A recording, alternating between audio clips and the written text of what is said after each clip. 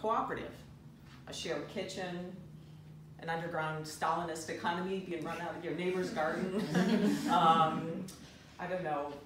It's, it's just, it's been badly marketed, the whole word cooperative. But in fact, it's 20% of our world economy. They're very, very well-established businesses. So my name's Judith Turner. I'm founder and executive director of Florida Cooperative Empowered Economic Development. And as of tonight, I found out I'm very directive. so uh, what we do is we provide education because the one thing I see is people really don't understand the transactional aspects of cooperatives. So we provide a lot of education. We do a free class every month through the St. Uh, St. Pete Greenhouse, which is the Small Business Assistance Center. We do, we speak at meetings and we give presentations about what cooperatives are. Um, we also um, we also are starting a cooperative entrepreneurship class, an eight-week series, to help people understand what this business model is. And why we think this is important, going back to the problem, is I've realized in my journey that people have two instincts. They're competitive and they're collaborative. They're cooperative.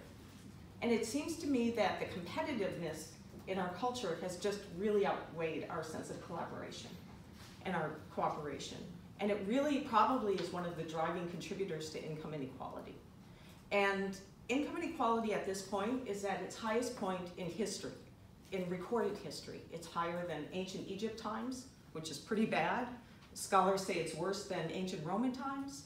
And cooperatives solve these problems. They kind of distribute the power um, and decision-making process back to the people who use, create, or produce the service. So cooperatives are businesses that are owned by the people who use, create, and they benefit the members of the service. Um, so we see cooperatives as a solution. Typically, cooperatives are created when government and the private sector has failed to solve a problem. That's why grocery co-ops pop up in small towns, in, in areas that are uh, food deserts. Um, so people come together and they solve their own problem and they own that business.